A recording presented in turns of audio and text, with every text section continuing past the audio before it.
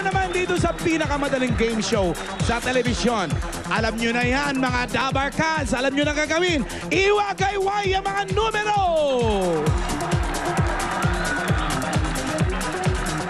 At si Ann... Ano? Happy birthday, Lola Colina. Akala ko naman kung ano sasabihin mo, may babatiin ka lang pala. Ikaw talaga, oh, para-paraan ka.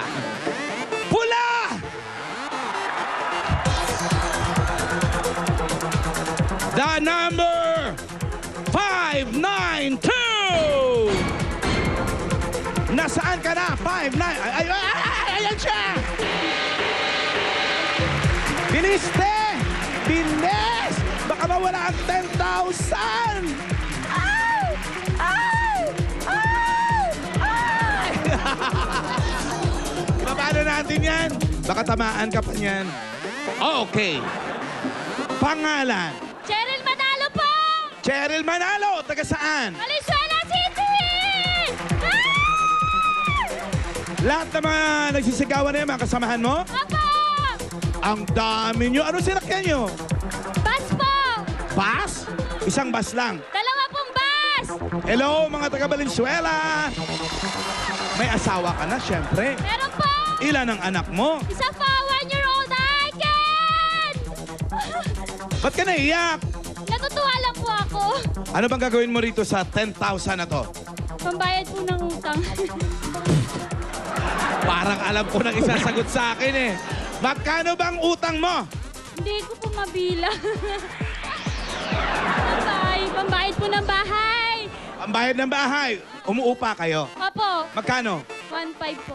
Naku naman, 10,000 to. Ano ka ba? Ilang, ilang buwan to? Anim na buwan! Alika, Cheryl? Cheryl? Oh, Cheryl. Sabi mo ko na na Cheryl eh. Ano ba province mo talaga? Bohol po. Abuhol. Mula sa mga lahi ng mga tarsier. Eto na si... Ch- Ayan o, nakaka-tarsier ang eyes. ano ba yan, Kim? Tabingi. Nasa sentido na yung mata. Ipwesto natin na maayos. Yon. Ganda, no? Eto ngayon, Cheryl. May papahawakan ako sa'yo. Huwag mong sabihin kung ano ito. Ha? O hawakan mo to. Basta, ang clue dyan, naiikot yan. Nabubuksan, tapos naiikot uli ito. Okay yan. Alam mo na kung ano to. Huwag mong sabihin. Malalaman natin kung alam mo siya talaga. Pag! Huwag mong takpan.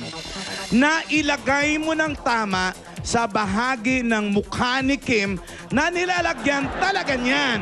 Okay, okay? Oh, oh.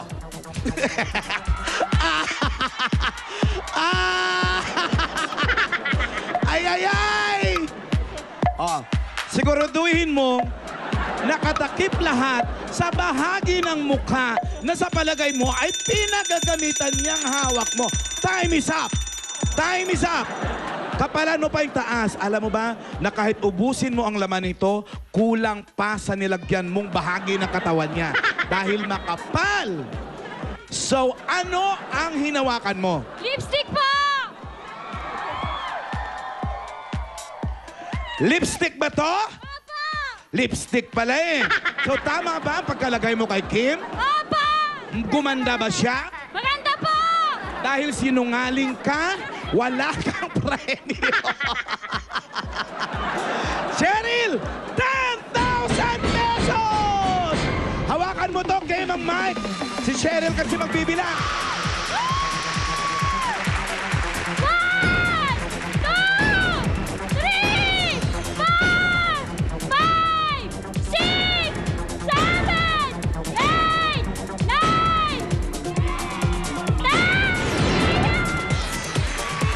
Congratulations, Cheryl! Marami po salamat sa Eat Bulaga! Salamat po!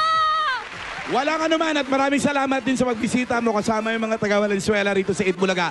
Mamaya, may mga studio audience uli naman nanalo ng tig 10,000 pesos dito sa pinakamadaling game show sa telebisyon. Susunod na, jackpot round ng KSP. Kahit sino, Pwede!